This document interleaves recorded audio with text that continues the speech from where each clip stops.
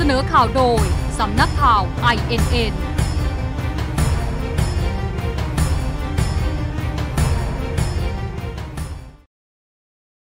16 นาฬิกามาติดตามข่าวกับดิฉัน ปรางคณิปุนเผยจากสำนักข่าว INN ค่ะ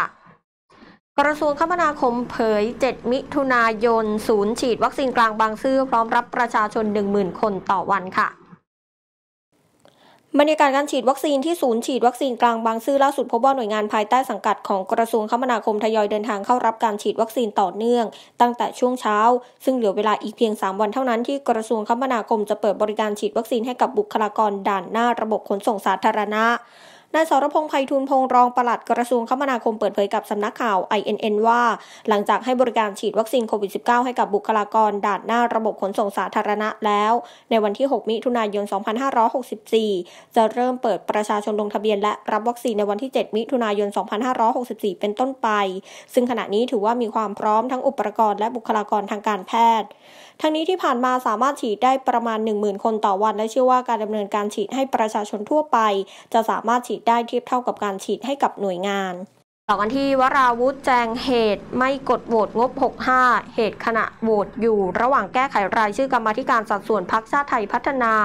ยันไม่มีเจตนาไม่รับร่าง ขณะแจงนายกรัฐมนตรีทราบแล้วค่ะ นายวราวุฒิศิลปะอาชารัฐมนตรีว่าการกระทรวงทรัพยากรธรรมชาติและสิ่งแวดล้อม ชี้แจงกรณีไม่ได้กดโหวตลงคะแนนรับหลักการร่างงบประมาณรายจ่ายประจำปี 2565 ว่า เนื่องจากขณะลงคะแนนเกิดความสับสนในรายชื่อกรรมธิการวิสามันในสัดส่วนพรรคชาติไทยพัฒนา จึงวุ่นวายอยู่กับการแก้ไขข้อมูล จนไม่ได้กดโหวตซึ่งยืนยันว่าไม่ได้มีเจตนาที่จะไม่ลงคะแนนรับหลักการร่างแต่อย่างใด ทั้งนี้ตนได้ชี้แจงเหตุผลให้กับนายกรัฐมนตรีทราบแล้ว ซึ่งนายกรัฐมนตรีเองก็เข้าใจดีค่ะปิดท้ายกันที่ทนายตั้มเผยตำรวจคัดค้านประกันตัวลุงพลในชั้นสอบสวน เตรียมยื่นชั้นศาลพรุ่งนี้ค่ะทนายสิทธาเบี้ยบังเกิดเปิดเผยหลังเข้าเยี่ยมลุงพลว่าลุงพลยังโอเค ไม่เครียดมีกำลังใจดี เพราะมีแฟนคลับ เอาของมาเยี่ยมเยอะ และเข้าใจในเรื่องกระบวนการต่อสู้ทางคดีแล้ว เบื้องต้นตนเองได้ยื่นขอประกันตัวในชั้นสอบสวนเป็นหลักทรัพย์โฉนดที่ดินสองแปลง แต่ในชั้นสอบสวนตำรวจได้คัดค้านการประกันตัว ดังนั้นในวันพรุ่งนี้ตนจะไปยื่นขอประกันตัวลุงพลอีกครั้งในชั้นศาลเวลา 10 นาฬิกาที่ศาลจังหวัดมุกดาหารขณะเดียวกันทนายสิทธาได้กล่าวถึงการทำคดีของเจ้าหน้าที่ตำรวจที่มองว่าขั้นตอนการออกหมายจับ 3 ข้อหา ไม่เป็นไปตามข้อเท็จจริงว่า ในวันอังคารที่ 8 มิถุนายนนี้ ตนเองเตรียมยื่นเรื่องต่อคณะกรรมาการที่มีนายสิระเจนจาคะเป็นประธาน โดยการเชิญผู้บัญชาการตำรวจแห่งชาติ ให้เข้ามาชี้แจงใน 4-5 ประเด็นที่เกี่ยวกับคดี เช่น การจับกลุ่มการมอบตัวและการแจ้งข้อหา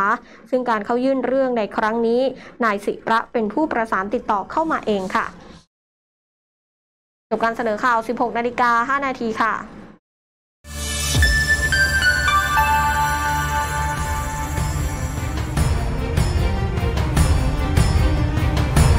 เสนอข่าวโดย สำนักข่าว INN